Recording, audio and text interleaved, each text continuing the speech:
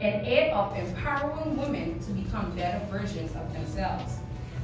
In 2021, we were called Women Empowerment 2021, W-O-N.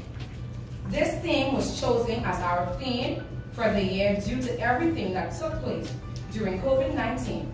So 2021 was our winning year. And if we were not going to, and we were not going to let anything get in the way of our winnings. In 2022, we chose the theme 2020 Choose. As winners, don't forget in 2021, you were crowned a winner. And 2022, you are about to choose. As winners, we have the right to choose our next step, our next move, our next walk of faith, which leads us into this year's theme, This is Her. What can, what can you do after you have won? You have chosen to walk into your purpose. Yes, you get up, get dressed, step out, and show up. This is the new you. This is me, this is you, and this is her. This movement is personal to me, and I am very passionate about it, and I call this my baby. What does women empowerment mean?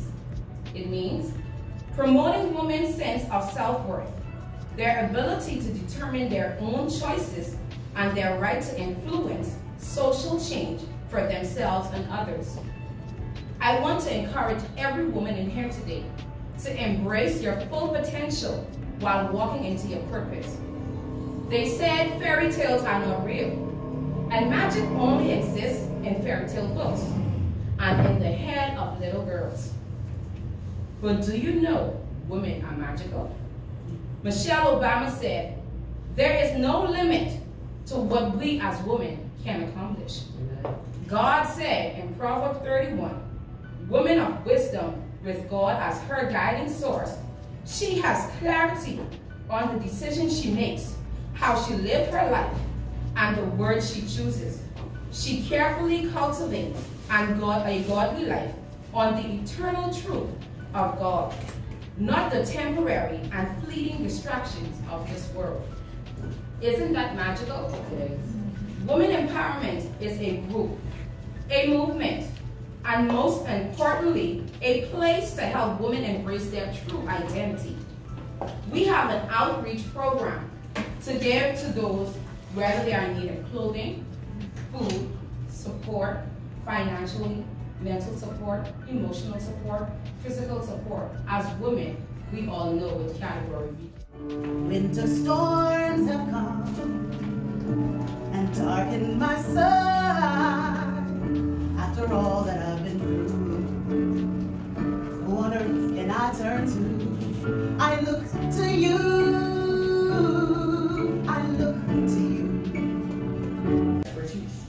This is a true ins- inspiration and a role, she's a true inspiration and a role model for all those who aspire to make a difference in the world. Her contributions to the field of education, leadership, and management have been immense. And we all look forward to what she will achieve next. Please help me welcome Her Excellency, Dr. Demetria Sherman.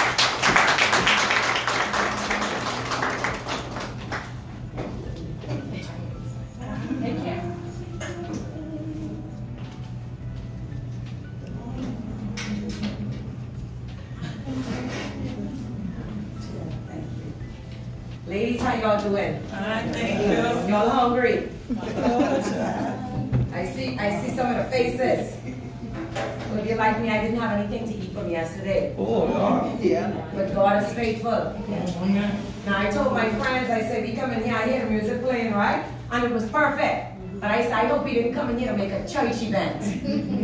But listen, ladies, I am so excited to be here today on behalf of Ms. Ashleen. Um, she's from the first, from the first uh, day I got back from away. She came to the back of school. She said, Miss Sherman, is, Miss Sherman, there's something important to talk to you about. I said, I have to go, Miss Ashley. She said, listen, I just need you to speak. I said, just send me a date. I come in. Whatever I do, when I can stop, drop, and roll. So here I am today to be a blessing to you all, and I just want to say that you all are a blessing to me. And I am privileged to be among such beautiful women and all the queens today. Um, you all, I, my, my, my husband shared with me 2.30 or what he or what you envision your life to be. If we ask God for some stuff and I mean yes. We waking up in the morning, we praying, we saying, Lord, when is our time? Yes. Let's bring it more home. I can walk about a little bit. So I can feel a little bit more comfortable and feel like I'm engaging with the crowd. But I'm gonna bring it home a little bit. At the age of 10, remember I, I, I the young lady that came up, I mean, that was a long speech. Mm-hmm. Somebody wrote that for me. Mm-hmm. But at the age of 10, ladies, I came from a home and my mom was very, very wealthy. She would have had one of the top businesses here in this country. And you know, back in the day, when you had business, it's not like now when everybody's running a business. Back in the day, businesses were small, but they were booming. And I came from a family of wealth. My mother, my stepfather, my sister, and my brother, um, you know, we didn't need for anything.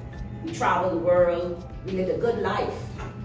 But at the age of 10 years old, my daughter Elena here, she's 11. So I just want you to picture this. I couldn't picture this. But when I looked at her last year look at her age now, I could not imagine at 10 years old, I had the tenacity to jump on a bus and say I was going to find my father. Of course, my mom said to me many days, and I'm sure some of us in here went through that. Your mom said your dad is a no good, a deadbeat, he on drugs, he ain't got no money, he ain't doing nothing for you, you know.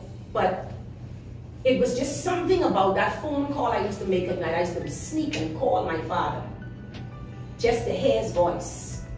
I don't know what it was, but I seek to hear that voice. And I talk about I used to get cut him. If my mother ever found out that I spoke to him. But at 10 years old, I decided that I was gonna jump on a bus and drive, come down to Michael Road. Now called for me to be Peace Ambassador International. They said it's never been done in the history of the Bahamas. The Commodore called and wanted to find out who is this young lady that got this title because he's been trying to get it for years. And I'm not boasting. I listen, hear what I'm saying to you ladies. Based on any way you start is how you finish. And based on the short story, I will give you a little synopsis of my life. Based on the short story, from where I came from. You can imagine my neighbors still live where my house is. I still go around and hail them, go to the door and hail them, buy them some lunch, take care of them. They used to put the hose through the window for Her Excellency Dr. Demetrius Sherman. Come on now. Mm. Not a title I asked for. A title what God say, this girl been through much. My God. Through much. Imagine 40 years without having your natural mother in your life. Think about it. But God bless me with all kind of mothers. I have one right here. Sister Leah. I mean mothers upon mothers upon mothers. Her mother. All right guys coming back to you after the tea party. So it was really really fun. It was really nice. I did win a gift for arriving first. Um i got a certificate to get my hair done from uh, i can't remember the name of the salon. I will post it on the screen but i am looking forward to that. Um i was able to meet new people. I i was able to learn some things and I am looking forward to being a part of this group. Um yeah, would I do it again? Definitely, definitely. Um the experience that I had today is like something that I want to take throughout my life, you know, getting to know different powerful women, um uplifting women, just coming together and sharing your story, sharing your experience. That is what I want for me. So 10 out of 10. Definitely a 10 out of 10. If you want to see more vlogs and lifestyle stuff from me, lifestyle videos from me, be sure to like, comment, and subscribe. C Squad, we out.